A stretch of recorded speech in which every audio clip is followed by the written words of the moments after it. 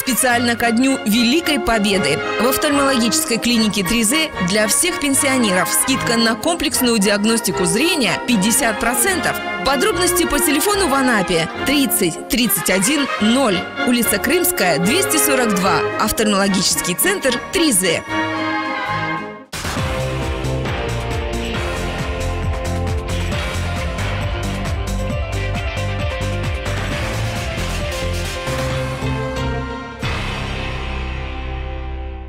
Здравствуйте! Новости Анапа регион продолжают эфир канала РЕН-ТВ. В студии Ирина Меркурьева. Сегодня в выпуске.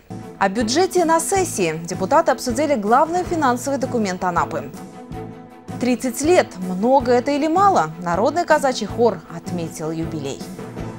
А сейчас обо всем подробнее. Главный финансовый документ города-курорта обсудили депутаты Анапы на очередной 76-й сессии Совета. В бюджет поступили дополнительные средства, которые будут израсходованы на решение социальных проблем – Глава Анапы Сергей Сергеев также акцентировал внимание депутатов на еще одном серьезном вопросе – изменениях федерального законодательства в сферах градостроительства и земельных отношений. Обсуждение серьезных тем предварило поздравления. Вее Стефановне Севрюковой вручили почетную грамоту атамана Таманского отдела Кубанского казачьего войска Ивана Безуглова за активную помощь казакам Анапского районного казачьего общества при выполнении ими задач по возвращению Крыма в состав Российской Федерации. Затем депутаты перешли к повестке дня.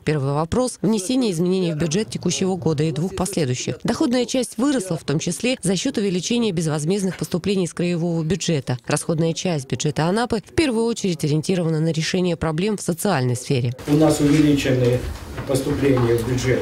Это 48,4 миллиона рублей на капитальный ремонт э, дорог. Это с учетом софинансирования нашего 5300 и выделена субсидия на предоставление жилых помещений детям-сиротам 86 миллионов на приобретение 82 квартир. В ходе сессии депутаты приняли жизненно важный для города документ – устав муниципального образования и заслушали доклад заместителя главы курорта Александра Колесникова о комплексе мероприятий по увеличению производства молока, мяса и яиц и обеспечению этой продукцией анапчан. Глава Анапы Сергей Сергеев заострил внимание депутатов на важном вопросе, вступивших в силу изменениях федерального законодательства в сфере градостроительных и земельных отношений. Те вопросы, которыми мы занимаемся с вами в течение двух с половиной лет без малого, нашли отражение сегодня в некоторых федеральных законах. О чем я говорю? Сегодня использование земельных, земельного участка.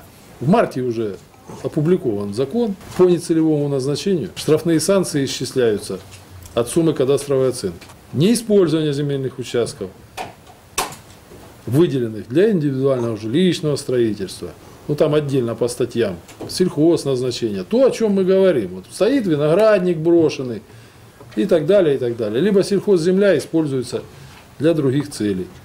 То же самое. Наведение порядка в первую очередь требуют люди, прокомментировал Сергей Сергеев и добавил. Кошмарить бизнес контролирующим органам не позволит. Но и незаконную подпольную деятельность предпринимателей допускать нельзя. Работа в этом направлении продолжится, и депутаты должны принять в ней самое активное участие. Обновить цвет пешеходных переходов, высадить цветы и деревья, тщательно убрать улицы и дворы Анапы. Выходных у коммунальщиков и работников дорожных служб нет. Задач в сфере благоустройства еще очень много. Счет в сроках исполнения идет на дни. 2 апреля начались работы по реконструкции сквера на улице Терской. Сквер протяженностью 290 метров предстанет в новом образе перед гостями и жителями города уже к 9 мая. Полностью спилены старые деревья, на их месте уже красуются 70 саженцев клена шаровидного. После того, как плитка будет уложена, установят лавочки, урны и освещение. В городе такой плитки еще нигде нет. Все продумали до мелочей, и деревья не просто выбирали, а думая о будущем облике этого сквера сквера. Шаровидный клен, он уже э, полностью обрезан, оккупирован, то есть будет в виде шара ну, впоследствии. То есть я думаю, в этом году, конечно, нет, потому что еще они так, ну как, молодые, да, всего. То есть, а в следующем году уже полностью крона сформируется и будет шар. Листья будут э, такие, ну как, не коричневого, а красного цвета зеленого, красного цвета. Да. да, почти под плитку, так сказать, в тональность. По итогам работы реконструкцию сквера будут продолжать дальше. От улицы Гребенской до улицы Красноармейской. Сейчас там только начинаются работы. Результаты обследования состояния набережной от кафе «Пароход» до центрального пляжа вынесены на большой разговор с бизнесом, содержащим свои кафе и магазины в запущенном состоянии. Какого особенного сигнала или толчка ждут хозяева территории, непонятно. Откровенно наплевательское отношение можно наблюдать во всем. От немытых тротуаров и лестниц, развороченного плиточного покрытия, заросших травой клумб, небеленных и некрашенных фасадов. Пусть посадят цветы, приведут в порядок эту клумбу. И вот это здание тоже пусть его приводят в порядок. Ну это же все одно.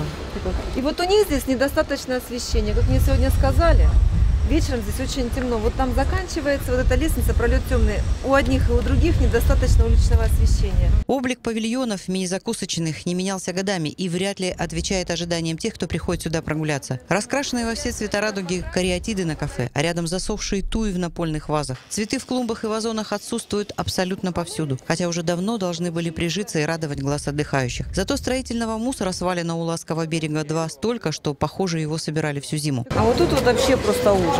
Тут просто не убирается. Как вы представляете себе вот такой хлам там, где ходят отдыхающие? Вчера только это сделали. Вы вчера и должны были убрать. Вот сегодня будьте добры до, темноты, чтобы здесь ничего не было. Вывозите мусор. Пока сейчас стоит муниципальный контроль, вас просто оштрафуют. Зато, где уж точно проявлена оперативность, так это в деле организации услуг. Приглашение на морские прогулки безо всякого разрешения уже в действии. На вопрос, на каком основании, по традиции звонок другу. Алло, Норик, тут проблемка, это самое, заместитель интересуется, кто, кто дал добро стоять. Традиции придется менять не к первому мая, а просто всегда. Набережная должна привлекать и радовать. Организация досуга молодежи на селе – задача архиважная. В первую очередь потому, что позволяет отвлечь подрастающее поколение от вредных и даже опасных увлечений. В станице Благовещенской прошло заседание антинаркотической комиссии. Во многом приобщение молодежи к наркотикам начинается с курения. Поэтому с ноября по март Управление здравоохранения провело анонимное тестирование. Более 4 тысяч ребят ответили на вопросы, есть ли у них вредные привычки. По информации Анны Кореевой, наибольшее количество курящей молодежи зарегистрировано в Анапском сельскохозяйственном техникуме и Сочинском государственном университете. Со школьниками и студентами проведут разъяснительные беседы и покажут поучительные фильмы. При проведении тестирования отказов а, молодежи в участии тестирования не было. А, Информация была предоставлена заранее родителям, доведена до сведения учащихся и педагогов, с которыми также проводилась информационно-разъяснительная беседа по проведению по необходимости внедрения данного метода с целью пропаганды здорового образа жизни среди несовершеннолетних. На комиссии решили, что теперь антинарко будут проводить только в худших по показателям округах. В Анапе продолжается интернет-акция «Бессмертный полк». О своем отце Михаиле Лаврененко рассказала Антонина Папандопола. Михаил Архипович погиб на войне за 4 месяца до ее рождения.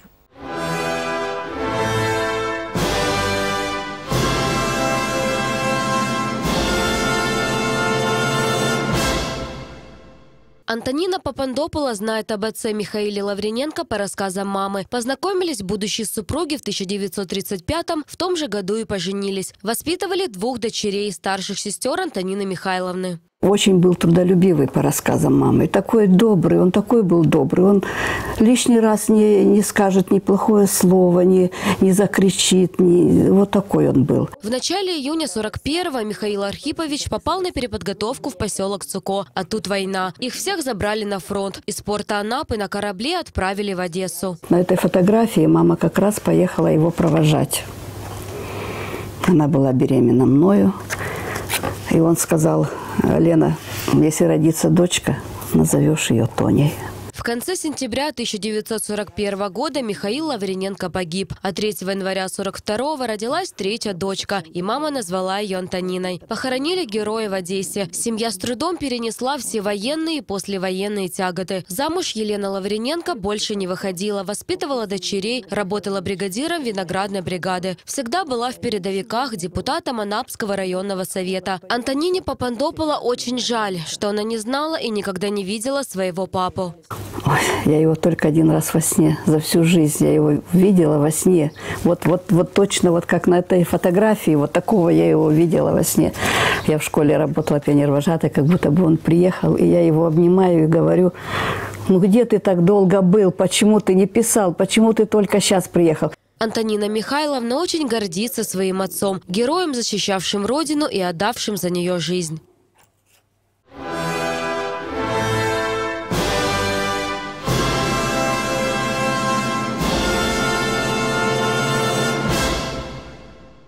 Народному казачьему хору под руководством заслуженного работника культуры России Анатолия Атрашевича 30 лет. Юбилейный концерт собрал в городском театре Анапы полный зал многочисленных поклонников. Глядя на слаженность этого коллектива, сложно представить, сколько за эти 30 лет было репетиций, ежедневного кропотливого труда, чтобы вот так ярко, живо и задорно, с легкостью и изяществом со сцены лилась нарядная казачья песня.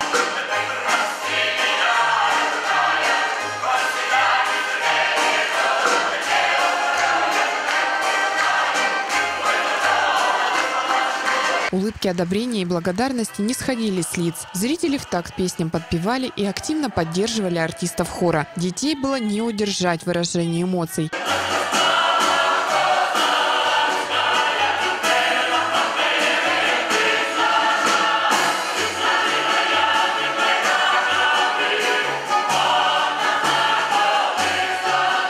Поздравить юбиляров пришли друзья и поклонники. Море цветов, добрых слов и подарков. От головы Анапы Сергея Сергеева очень нужный инструмент баян. С одной стороны много. Большая часть жизненного пути пройдена коллективом. А с другой стороны 30 лет. 30 лет возраст молодости, задора. Но уже есть огромный опыт, огромная любовь поклонников. И уверена, впереди еще масса много творческих планов. От главы курорта юбилярам вручили почетные грамоты. С подарками пришли депутат законодательного собрания края Николай Иванюшкин и атаман районного казачества Валерий Плотников. Руководителя легендарного хора Анатолия Трошевича казаки наградили медалью. Я горжусь этими людьми за то, что они нашу казачью культуру несут в массы. Их песни с характером, с юмором, с тонкой живой стрункой, с любовью. И эту любовь зрители чувствуют и уносят с собой с концерта. Такое удовольствие получили, такая радость на душе. Ну, в общем, хороший концерт, отличный концерт. Я в Анапе в гостях и скоро собираюсь домой. И мне на последнее, перед тем, как уехать, доставил такое большое удовольствие побывать на этом хоре. Я давно о нем слышала и, и слышал его по радио и по телевизору, но так вживую увидел его первый раз. Я многое, конечно, не поняла, потому что там по-казацки разговаривали.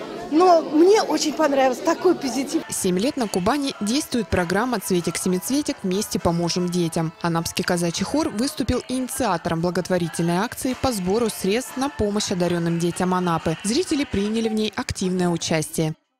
В выходные открываем футбольный сезон. Стартует чемпионат по футболу Краснодарского края «Высшая лига». В новом сезоне участвуют 14 команд. И наш футбольный клуб «Анапа», конечно, в их числе. Первая домашняя игра состоится уже 18 апреля на стадионе «Спартак». Анапа встречается со «Спартаком» из Геленджика. Матч начнется в 17.00. Вход бесплатный. Давайте поддержим нашу команду. И на сегодня это все новости. Далее смотрите прогноз погоды на завтра.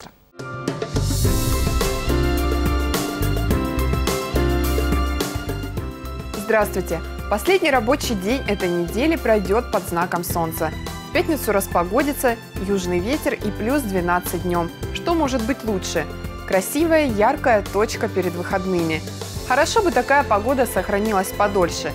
Такая весна нам по вкусу.